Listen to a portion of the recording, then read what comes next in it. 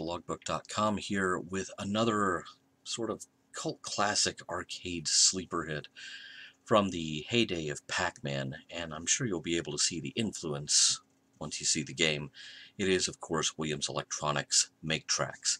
However, this game did not start life as Make-Trax. It started life in Japan, created by a company called Kural Electric, which you'll notice in the high score table when the game is booted up fresh. And you know there are no player high scores. The preset high scores are all KRL short for Kural Electric.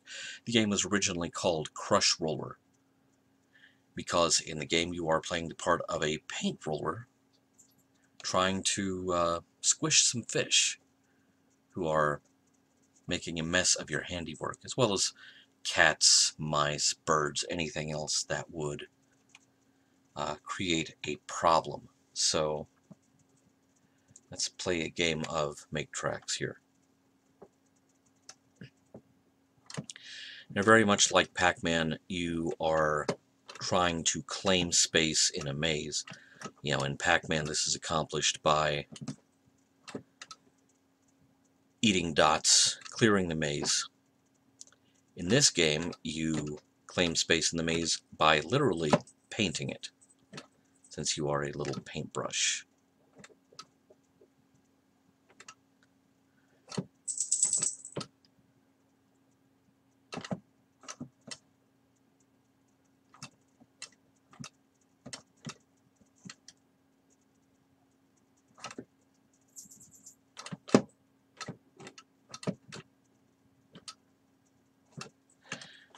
Oh, they got me. As you see, the little, the cat just got loose and anything that leaves oh the cat is still loose. Anything that leaves little paw prints droppings or what have you uh, you have to you have to clear those out of your paintwork. You have to repaint that area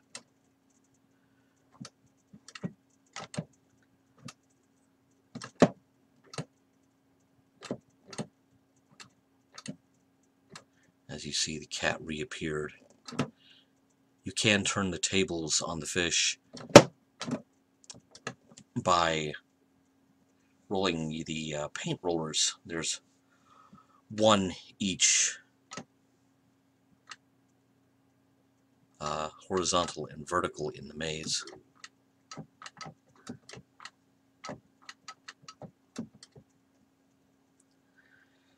Yay, I now hold the high score. Well, I would hope so.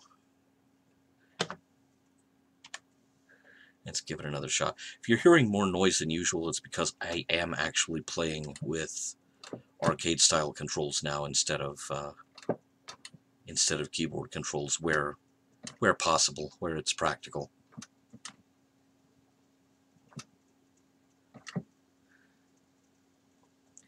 It's a good idea early on to paint the area right in front of the uh, fish tank that the fish come out of, the two uh, sort of gridded areas there, because uh, as you can imagine that's a pretty dangerous part of the maze. See if I can play a slightly better game here.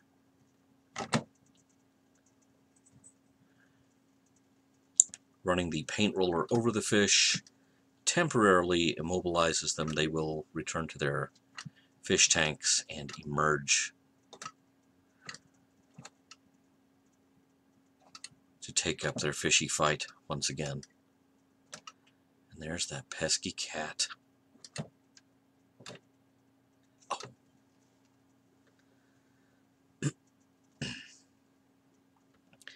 Obviously, the longer the cat is loose, the more damage it does to your paintwork the more you have to go and retrace your steps and redo some of your paintwork.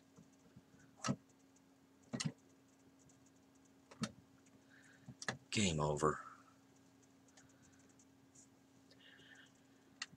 Obviously, I I think it's easy to detect the the Pac-Man influence here because you're trying to claim space in a maze and you can temporarily turn the tables on your enemies, but only temporarily.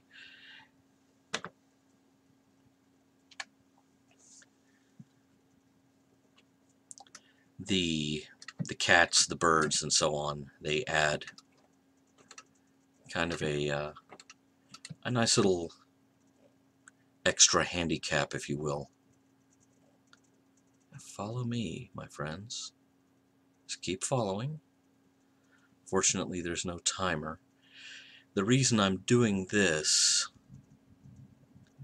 is to gain some distance from my fishy frenemies here because if you try to grab the paint roller and roll over them while they are following too close, um, it's not going to work. it's a cute little game. It's, you know, does it wear its Pac-Man influence on its sleeve? Oh yeah, I, I think it does that without a doubt. And it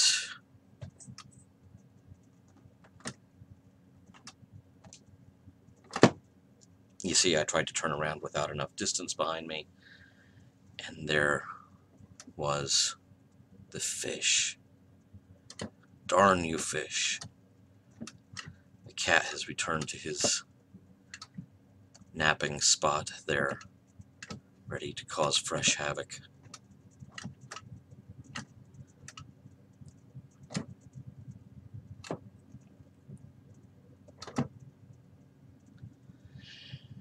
Now, I have never seen the game take the paint rollers away from you. Now they get repositioned from level to level as the maze changes. Okay, where am I missing a spot? Oh, that tiny little corner. that yellowfish has my number on this. That tiny little corner was what was preventing me from clearing the board.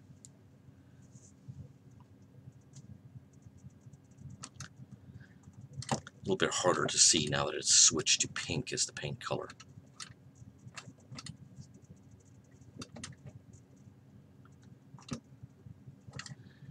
Go ahead and get the area in front of the fish tanks painted and get that out of the way because that's a, as I mentioned, that is a very hazardous part of the maze. Let's put our fishy friends out of commission for a little bit. I have a feeling the mouse is about to make an appearance. The mouse leaves tracks in your paintwork, very much like the cat does.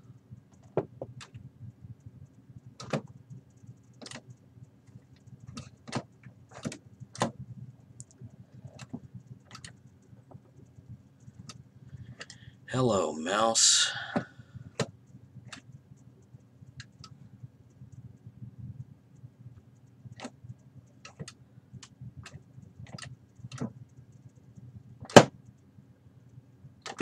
Oh, well, I did catch him. I got him right where he wanted me.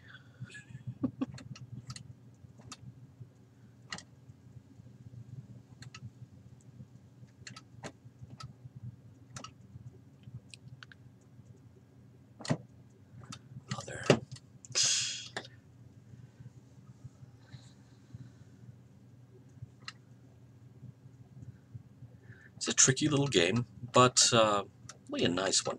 There were there were a lot of games that tried to ride the coattails of Pac-Man at the time when Pac-Man fever was extremely virulent and running unchecked through the general population with no cure in sight.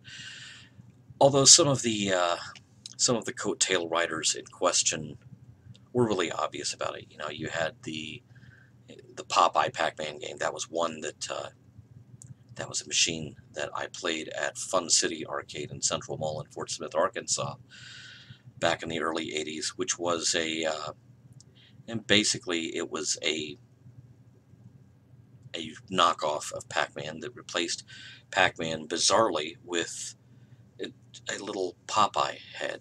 Maybe I should play that for you sometime. Maybe I should just uh, do a show that is some of the uh, some of the Pac-Man ripoffs and ROM swaps that were such a thorn in the side of Midway and Namco in the early 80s.